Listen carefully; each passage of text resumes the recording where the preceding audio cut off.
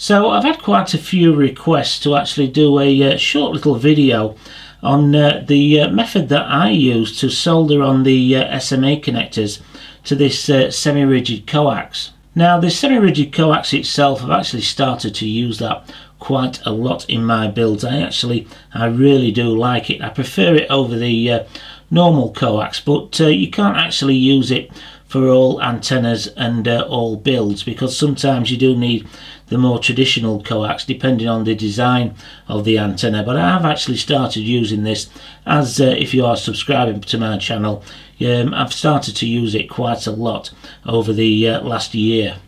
So I've got a method of uh, connecting the uh, SMA connectors to this and I don't think I've actually seen my method anywhere else. And uh, it really is quite a simple method and it cuts down on the amount of uh, filing you have to do to tidy up the soldering around the SMA connector. So it makes it really simple.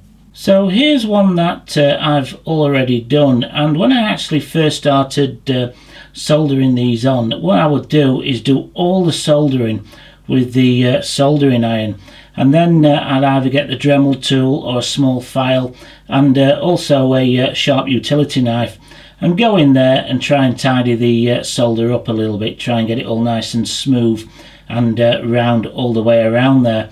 But uh, I found that you know for actually soldering a good joint on this to make sure that you've got all your solder all the way around the SMA connector and also you want it to slightly flow in between the coax and the uh, SMA connector there so you've got a really good seal.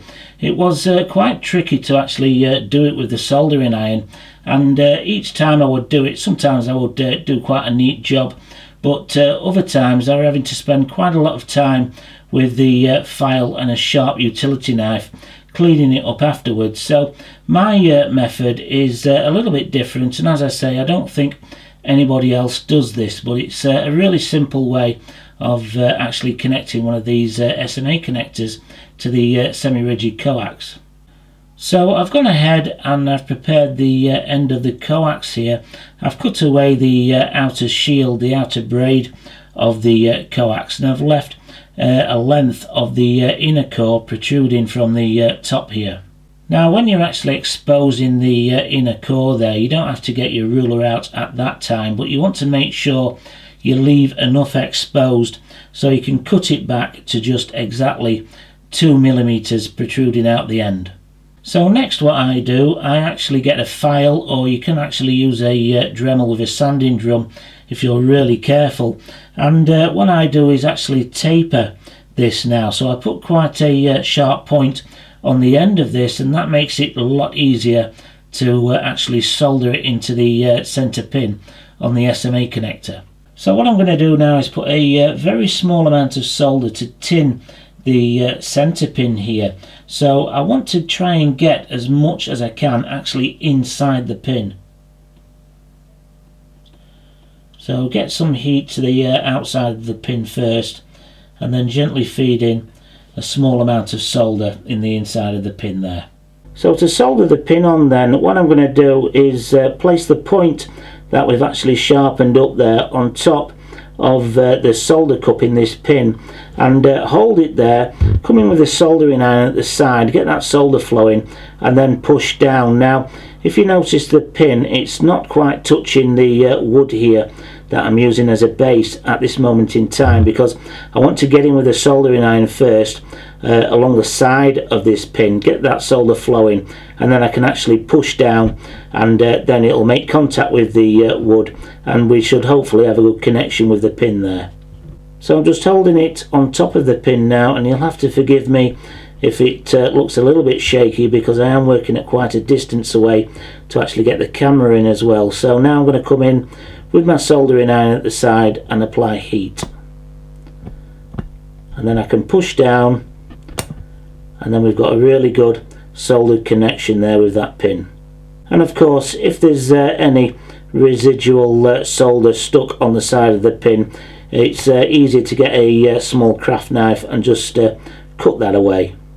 Now something else that I've come across when using this uh, coax is depending on what you use to actually cut this initially you can actually get folds of the coax actually bending over this dielectric and coming very close to the uh, inner core of the coax. So if uh, you get a little uh, craft knife like this and just uh, scrape it away and make sure that you uh, haven't got any hanging over here. So you've got a nice clean cut with the uh, dielectric there and that inner core.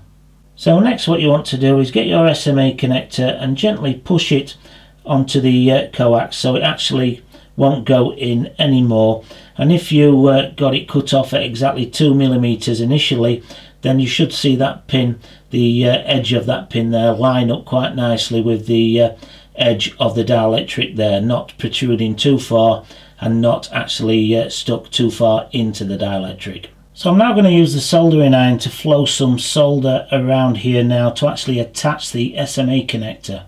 So I've actually got it angled uh, down so I've actually got gravity helping me as well to actually get the solder in between uh, the SMA connector and the coax there but I'm going to go around use the soldering iron to get some heat into the coax and the SMA connector and then just gently feed in solder as you work your way around. And because I've got this away from me, you've actually got a better view of this than I have. So if I'm uh, a little bit shaky, it's because the camera's in the way. And you can just keep turning it around and doing the same.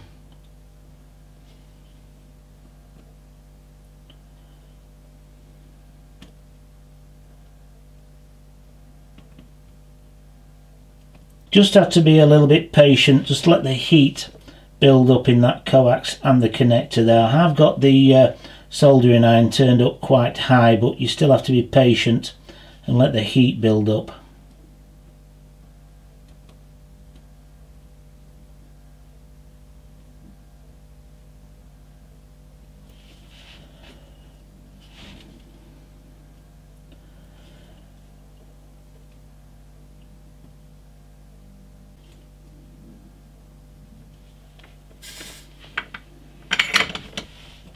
So I've got the solder all the way around that SMA connector so what I'm going to do is let it cool down before I move on to the next stage. Now at this stage what I've done with the uh, soldering iron is uh, just get some solder in there on around the coax and the SMA connector.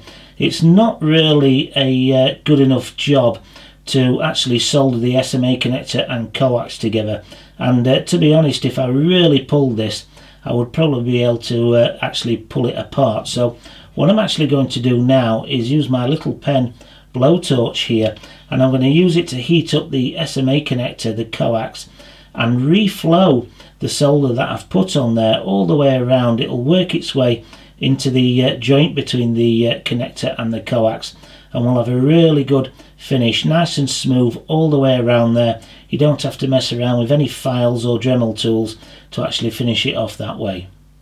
Now what I've also got here is a little pot with some uh, distilled water in there. Now this actual SMA connector, the dielectric that's in there, is designed to take quite a lot of heat because that's just the nature of how you actually uh, connect them up with a soldering iron. You have to get a lot more heat into this than you would a normal uh, SMA connector. And you probably won't have to uh, cool it down in the distilled water but I just like to and that way I can just uh, cool them down and pop them over on the bench.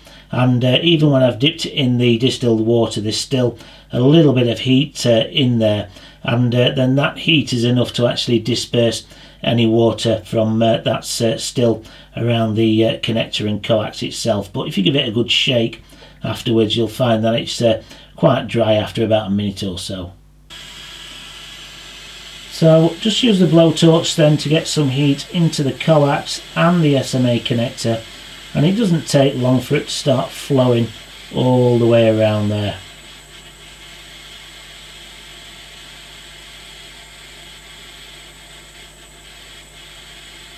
And once it's flowed around, dip it in the distilled water give it a bit of a shake and then put it to one side to cool down. And now it's cooled down, here's a uh, close-up shot so you can actually see where that solder has actually flowed and what you've got is a really good connection there and it's uh, quite smooth you don't have to get in there with a file or anything like that and as I say you've got a nice flow of solder all the way around in between the uh, coax and the SMA connector there. So I hope you found uh, this video useful then and if you did please give it a uh, thumbs up and uh, I hope it's uh, answered some of the questions that uh, you've been asking about how I actually go about soldering these uh, SMA connectors onto the semi-rigid coax but if there's anything that I've missed you want to ask me something else then please by all means drop a comment below and I'll do my best to answer it. So as I said I hope you found this video useful and hopefully you'll join me for the next one.